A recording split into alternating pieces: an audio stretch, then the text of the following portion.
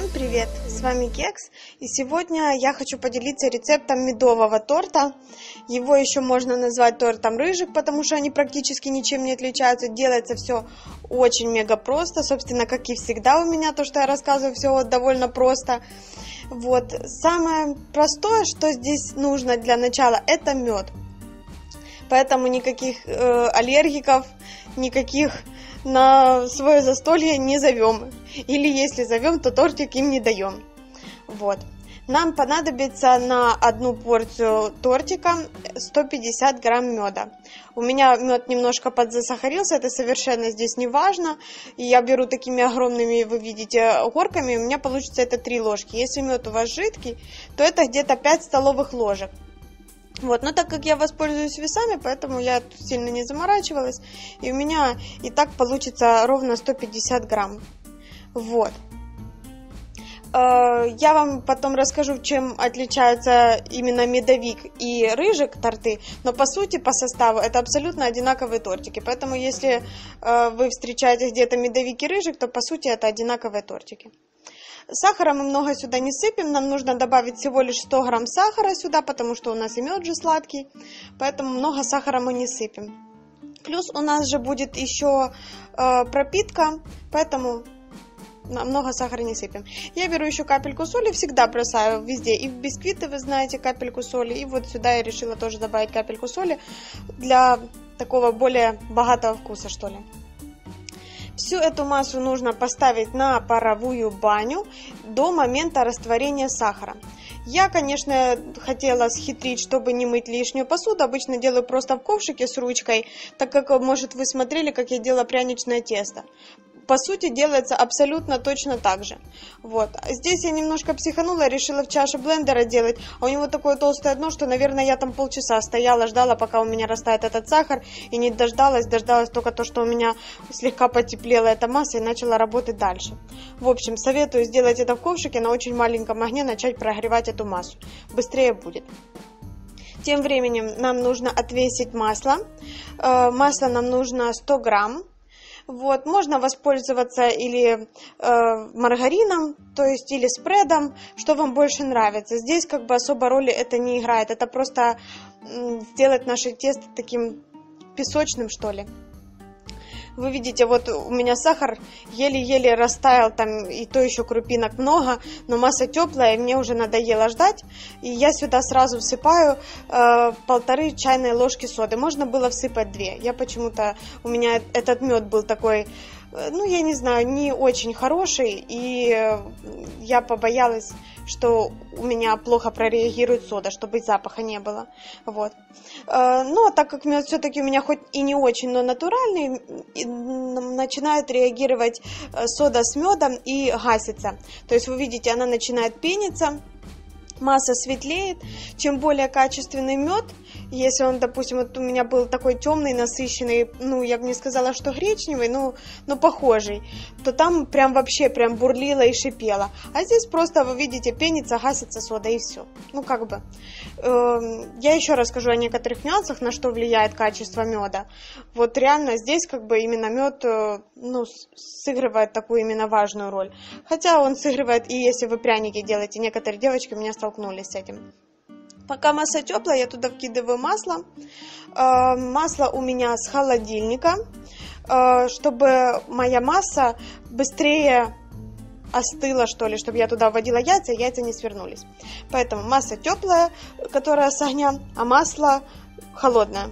И я его как бы оставляю там, чтобы оно у меня разошлось и слегка охладило мою массу общую. Вот. Оно после добавления масла начинает так приятно пахнуть, прям вообще волшебно. Я, кстати, что хочу сказать. Э, те, кто делали по моему рецепту уже пряничные домики или пряники делали, то можно по абсолютно тому же рецепту делать и торт-медовик. То есть э, не обязательно тут менять, там меняется буквально чуточку пропорции. Это абсолютно как бы не сыграет роли. Вот. Масло наше разошлось. Э, ничего у нас не расслаивается, все у нас однородное. И сюда мы добавляем 2 яйца. Э, яйца у меня здесь крупные э, с ноль.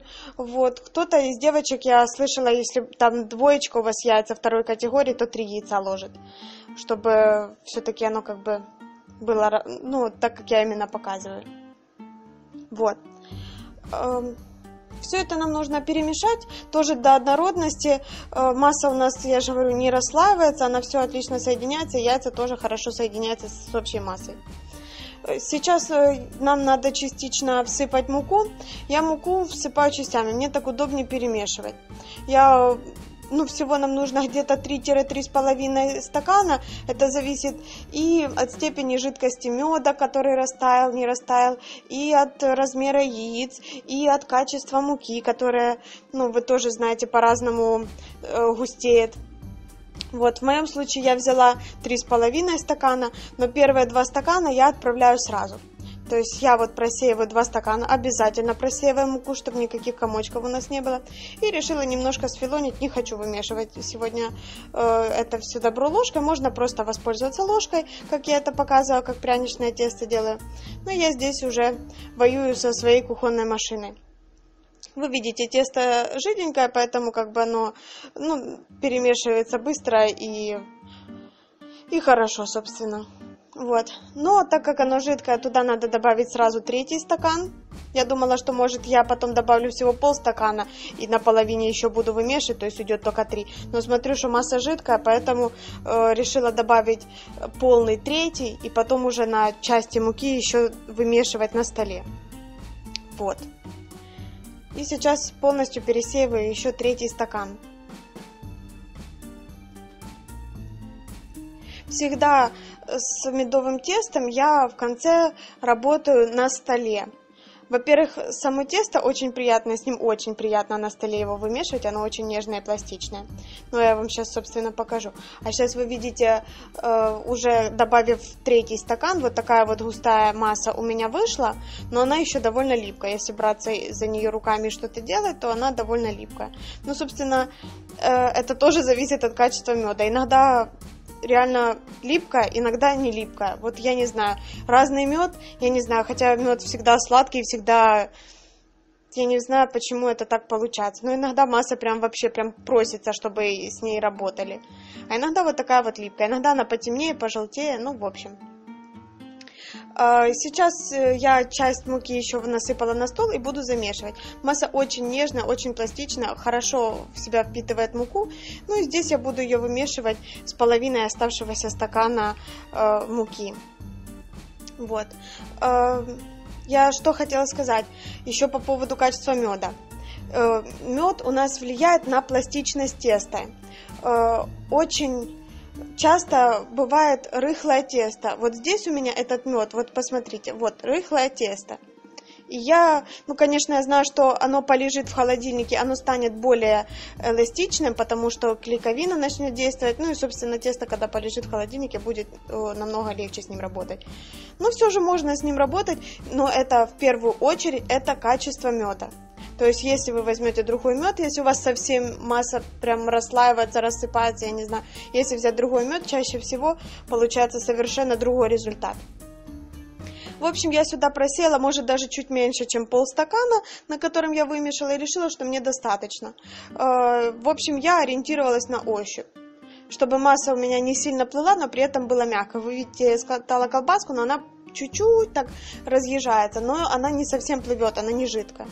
И сейчас эту колбаску мне нужно завернуть в пищевую пленку и отправить в холодильник минимум на 2,5-3 часа, но я чаще всего делаю ее на вечер и работаю с ней уже утром, то есть она у меня лежит всю ночь.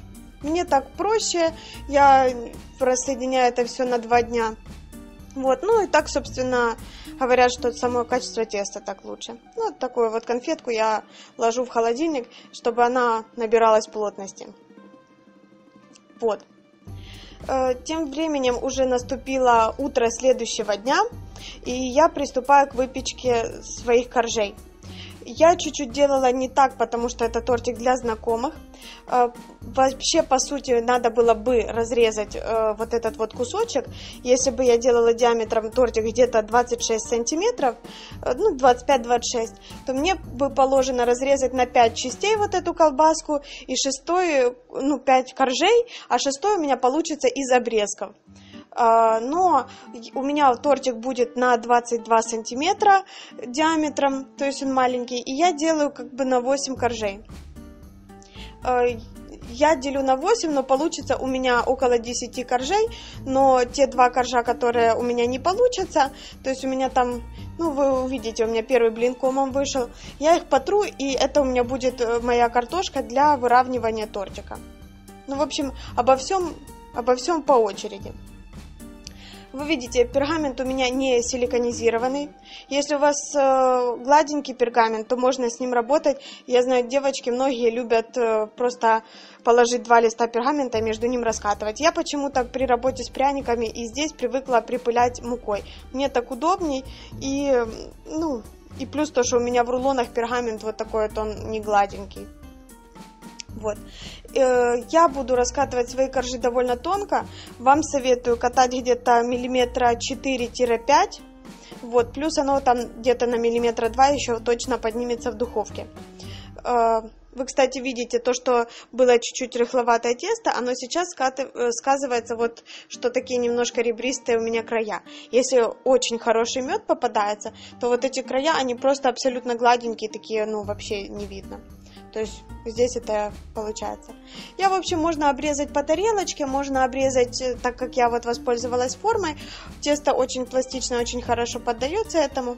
И вот у меня готовый кожи, который я отправляю печься при э, температуре духовки разогретой 160-180 градусов на 6-10 минут в зависимости от э, вашей духовки, вы просто смотрите, чтобы порыжел ваш коржик. Вот он сейчас как бы светленький, и он становится такой рыженький, и вы его достаете. Не ждите, пока он потемнеет, потому что э, медовые коржи начнут горчить.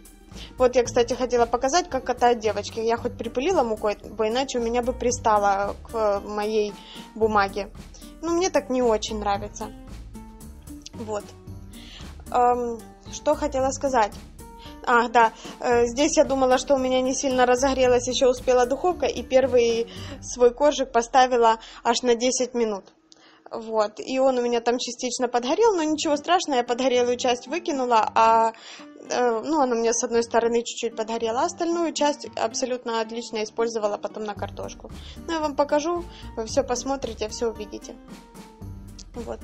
И мои коржики. Вы, кстати, видите, вот э, у меня кусочек на нем, чтобы показать, у меня вот где-то 3 миллиметра толщина. Ну, катайте чуть-чуть потолще на самом деле. Просто это так э, у меня было задумано, меня так попросила знакомая, чтобы я сделала, чтобы много было коржей.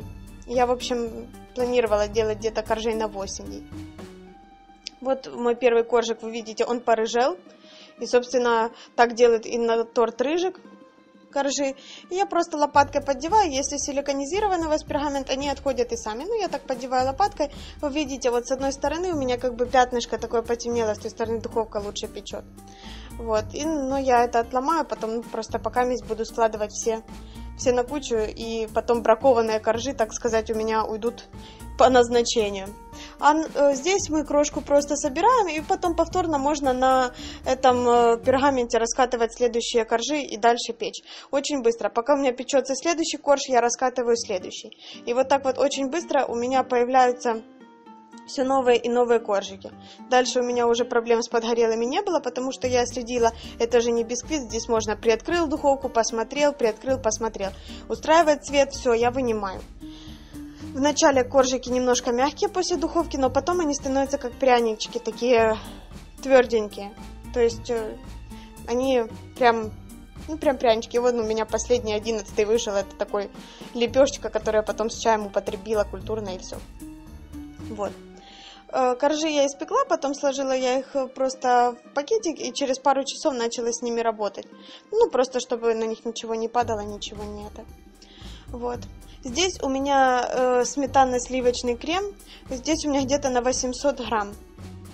Еще я буду использовать для этого тортика не курагу и черный слив, как принято по старинке, или орехи, а буду использовать шоколадные капли и апельсин филированный. Я уже показывала, как я это делаю, можете посмотреть у меня в видео, кто не видел. Э, филирую апельсин, режу его на кусочки, а в этот свой крем добавляю шоколадные капельки. Э, почему решила добавлять шоколадные капли? Потому что раньше делала э, с грецкими орехами, Вот, но они отсыревают в сметанном креме и такие, ну, никакие получаются, в общем. Вот, а шоколадные капельки, они такие остаются хрустящие. Далее, я сварила сироп. Э, кто-то не пропитывает этот торт. Я пропитываю все свои торты, чтобы они были мягче. И тогда э, они, и они меньше в себя впитают крема. Вот. Я вот слегка нижний корж не очень сильно пропитываю, потому что надо, чтобы он хорошо держался. Э, на низ ставлю капельку крема, чтобы у нас потом не ездила она по подложке. Еще хочу сказать, вы когда пропитываете, эти коржи не так быстро впитывают в себя влагу, как бисквит, э, но впитывают очень много на самом деле. Поэтому вы просто наберитесь терпения и подождите. Вот я вот так вот ну, повожу-повожу, но оно очень много потом берет. Если вы не пропитаете, у вас весь крем потом впитается в эти коржи, и у вас крема просто не останется.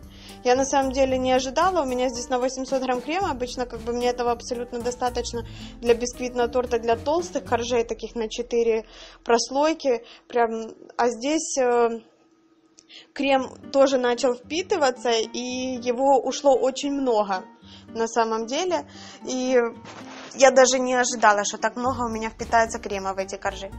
Ну, собственно, смотрите, здесь дальше уже дело техники. Хочу сказать, что просто очень хорошо сочетаются медовые коржи и апельсины. Очень отлично. Оно такое прям... Э, такой специфический аромат, как так и нужно, я бы сказала. Вот, ну и здесь как бы никаких дальше проблем, я думаю, возникнуть не должно. Вы можете прослаивать чем хотите. Кто-то, знаю, прославят пломбирным кремом.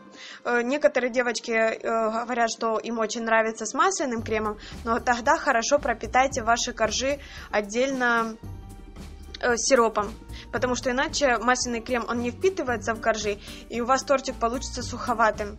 Поэтому пропитайте хорошо коржи, и уже тогда наносите масляный крем с любой начинкой, как вам нравится. Я же говорю еще раз, можно его сделать и с заварным кремом, тоже очень вкусно.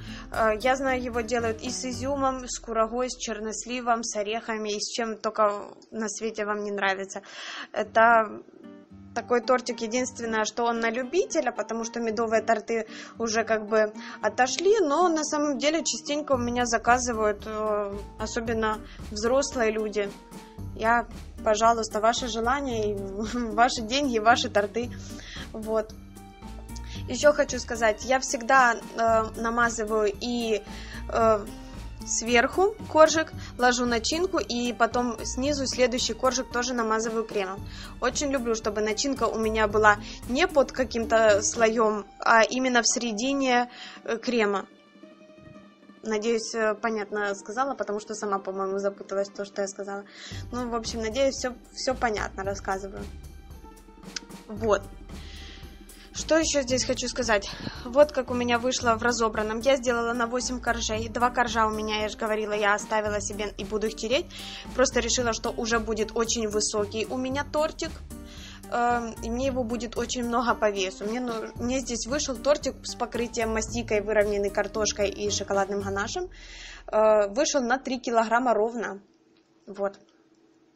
Сейчас мне нужно поставить его под пресс. Я его ставлю в форму.